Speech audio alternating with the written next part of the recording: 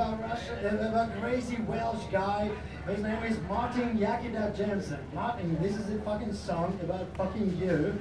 And I hope you will recognize the words about this song. I hope you will recognize the words from the video. I hope you will meet up again someday. I, and and you, you remember, the fucking man, you remember you promised me to go to the fucking Russian parties.